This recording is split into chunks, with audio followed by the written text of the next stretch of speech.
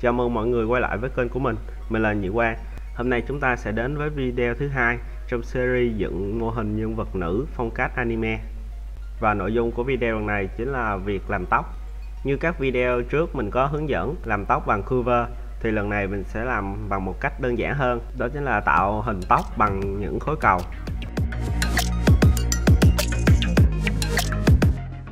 Ok, chúng ta bắt đầu.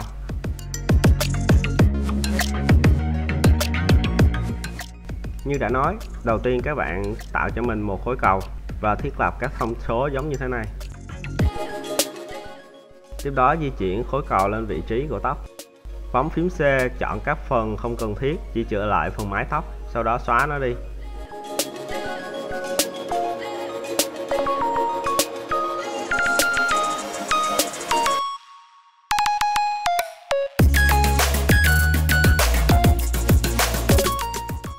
Mình đã định hình xong phần tóc mái. Kế tiếp bấm Ctrl R để thêm chi tiết Chọn các cạnh, bấm V để tách nó thành các lọn tóc khác nhau. Có thể tham khảo thêm các mẫu tóc có trên mạng Giống như hai mẫu có sẵn ở đây.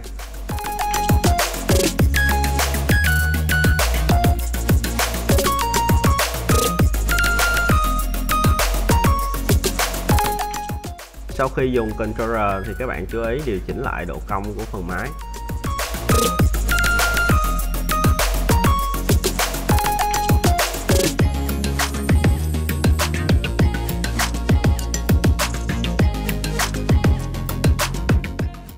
Bấm W chọn Smooth vậy là cơ bản đã xong. Các bạn ép cho mình thêm Subdivision Modify. Sẽ ép thêm Master cho phần tóc là màu đen phần da mặt là màu trắng để dễ phân biệt. Nhớ chỉnh subfile lại thành emission. À, màu sắc hơi bị mờ các bạn vào tab render kéo xuống phần color management chuyển từ film mix sang standard phần mái tóc vẫn còn hơi đơn điệu nên mình thêm ít chi tiết bằng Ctrl R và bấm phím V để tắt lọn tóc.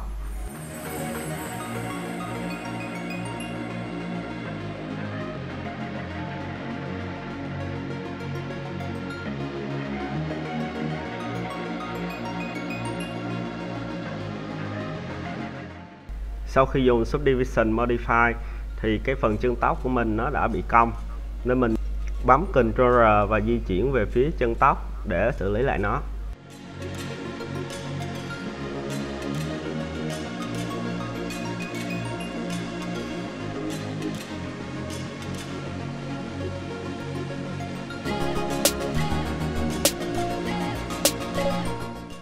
Phần tóc mái mà để nghe một đường nhìn thì khá ngố, nên mình sẽ di chuyển để cho nó cong cong một chút.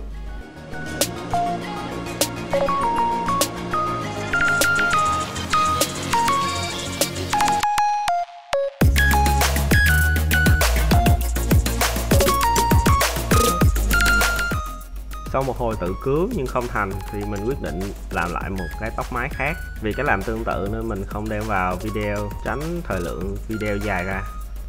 Vì phần hai bên đối xứng nên mình sẽ tách nó ra, dùng micro để dễ thao tác.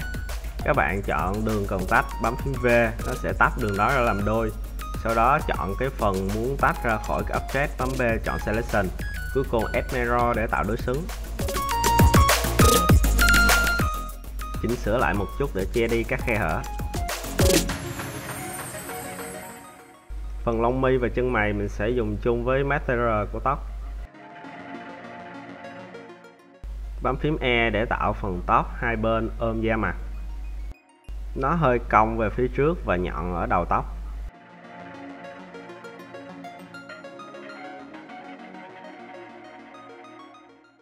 Trông ổn đấy chứ.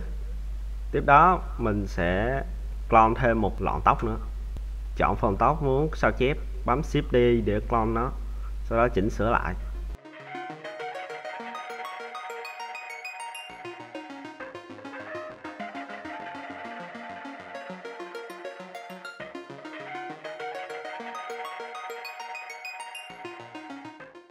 Con mắt trắng bóc nhìn vô hồn á, mình sẽ thêm một ít chi tiết cho nó. Chọn viền ngoài assign material tóc vào chọn viền trong và cũng là sai tăng memory các đường này lên để mình có thể tăng giảm độ dày của nó bằng cách chọn cạnh ở giữa và bấm phím S. Tăng memory các cạnh còn lại luôn. Xong phần họa tiết, sẵn đây mình sẽ thêm màu cho mắt luôn. Tạo mới một material đặt tên là mắt sau đó mình sẽ chọn một màu đỏ đi. Đó chọn hết phần màu trắng của mắt và assign màu đỏ này vào.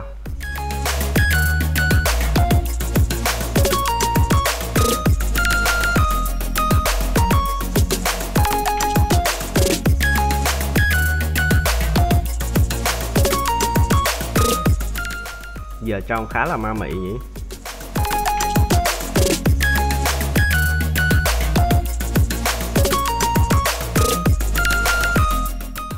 Giờ chúng ta tiếp tục làm phần tóc. Chỉnh sửa lại một chút chỗ này để cho nó bo rộng ra.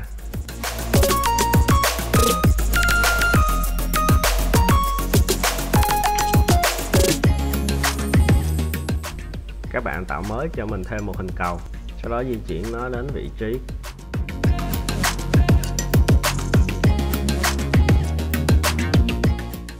xoay một chút đỉnh hình cầu về đỉnh của phần tóc mái. Vì sóng tóc của mình bắt nguồn từ chỗ này.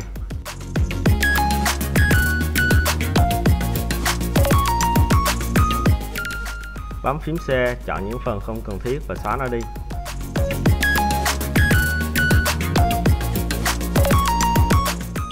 Chỗ này mình xóa lố rồi, mình sẽ chừa nó lại, xóa đường giữa thôi.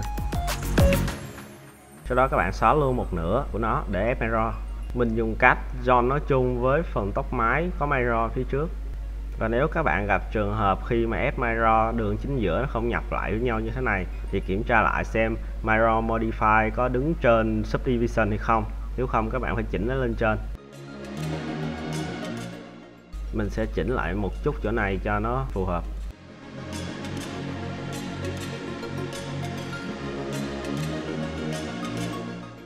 Trước lỗ tai còn khoảng trống, mình dùng phím E để kéo thêm một lọn tóc nữa.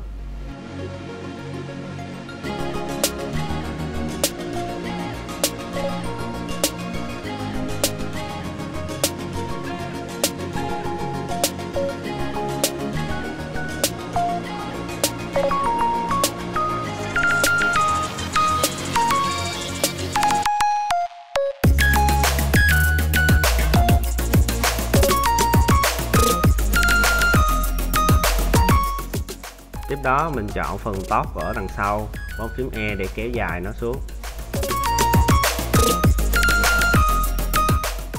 Đoạn này mình khá phân vân, không biết làm phần tóc phía sau kiểu gì. Đột nhiên mình lại nghĩ đến.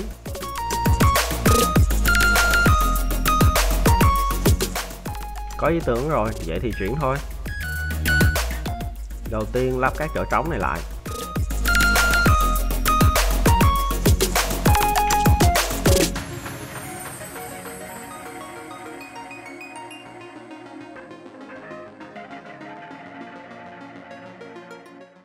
Sau đó bấm E để tạo một đường chân tóc.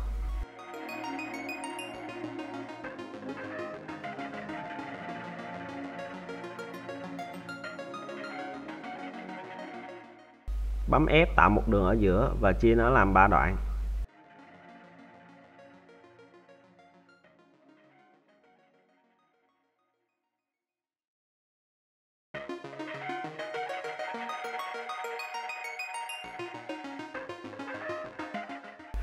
Chọn hết cái viền này. Nhớ bỏ chọn clipping, sau đó bấm E để tạo hình hai cái đùi gà.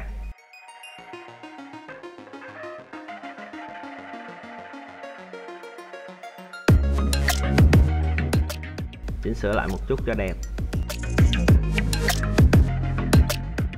Bấm Ctrl F, chọn Rig Fill để lắp nhanh chỗ này lại. Fix lại các lỗi bằng cách chọn tất cả bấm Shift N, sau đó bấm W chọn Say Smooth.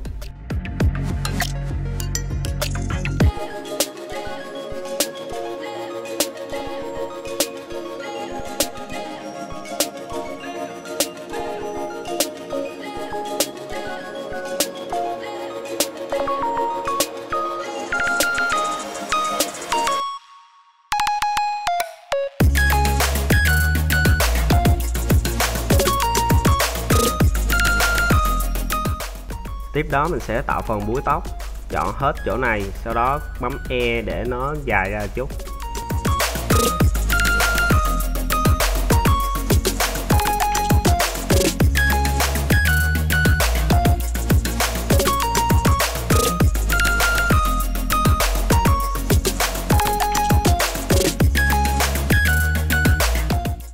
Búi tóc đã xong nhưng có vẻ hơi đơn điệu, mình sẽ tạo thêm các lọn tóc để trang trí xung quanh kèm theo các dây buộc tóc. Các bạn chọn một viền, bấm Shift đi để clone nó ra, sau đó bấm E để tạo độ dày cho nó. Di chuyển nó vào trong búi tóc để tạo sự bất quy tắc.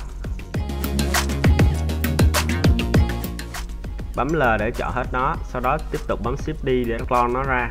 Xoay nó theo các chiều khác nhau để tạo sự khác biệt so với sợi thứ nhất. Tiếp tục chọn cả hai, bấm Shift đi và làm tương tự.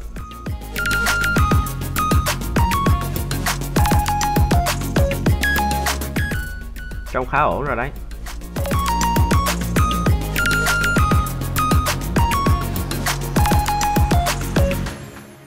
Tiếp tục sao chép một ít rồi xoay đầu tròn ra đầu búi tóc.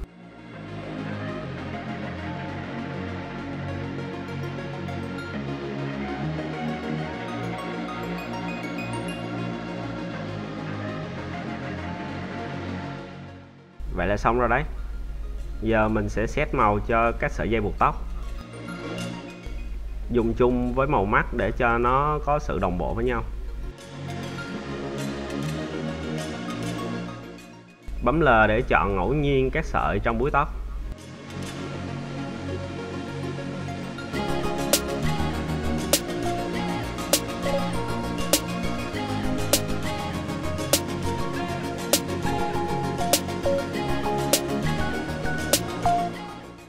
Đó mình sẽ tạo các sợi tóc riêng lẻ nằm bên ngoài phần tóc chính để cho nó có thêm ít phong cách.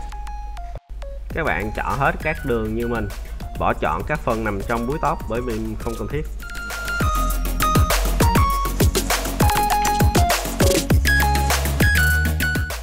Sau đó bấm shift D để clone nó ra, bấm tiếp E để tăng độ dày, di chuyển nó về ít một chút, y một chút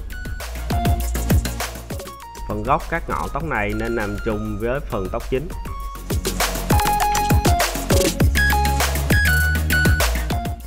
Chỉnh sửa các sợi tóc sao cho có độ cong phù hợp.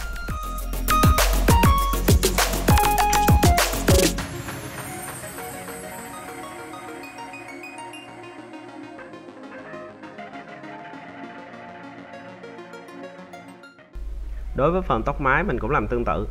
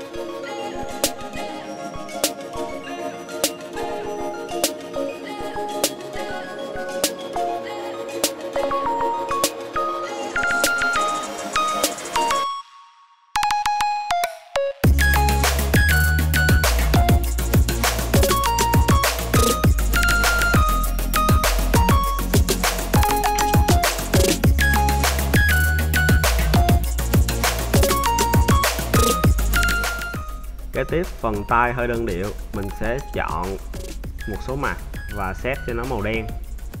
Chỉnh sửa lại nét cho nó mỏng một chút, nhìn giống như là nét vẽ.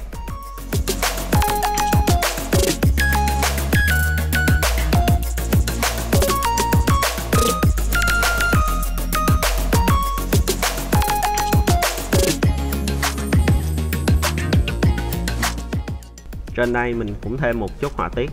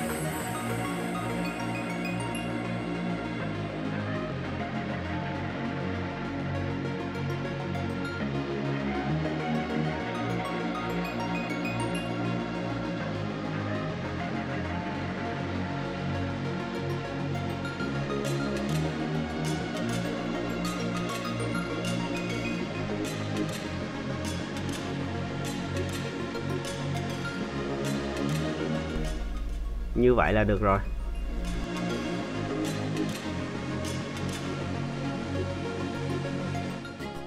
Mình cũng sẽ thêm vài nét đen chỗ mũi.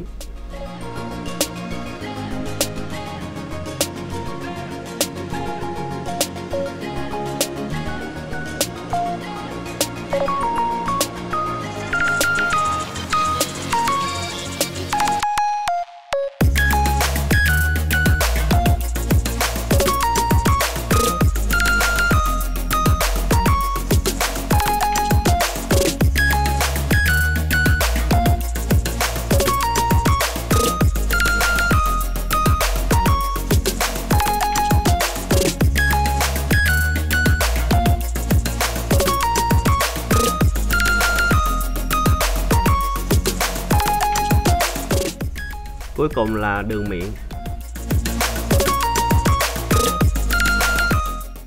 Bây giờ mình dùng màu đen để tả miệng cho nhân vật. Sau này khi mà mình cầm cử động phần miệng, mình sẽ dùng cách khác.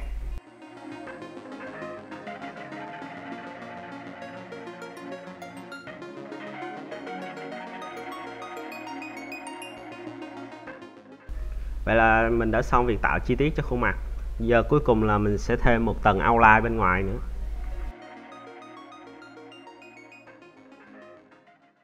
Cách đơn giản và nhanh nhất đó là dùng add-on outline hyper chỉnh lại phần độ dày.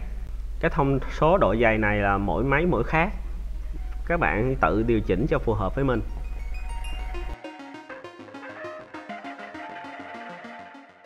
Chỗ hốc mắt có một đường outline dư.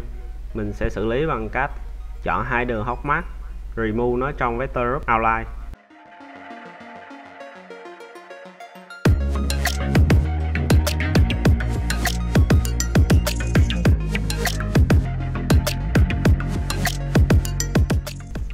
Là xong nội dung của video lần này.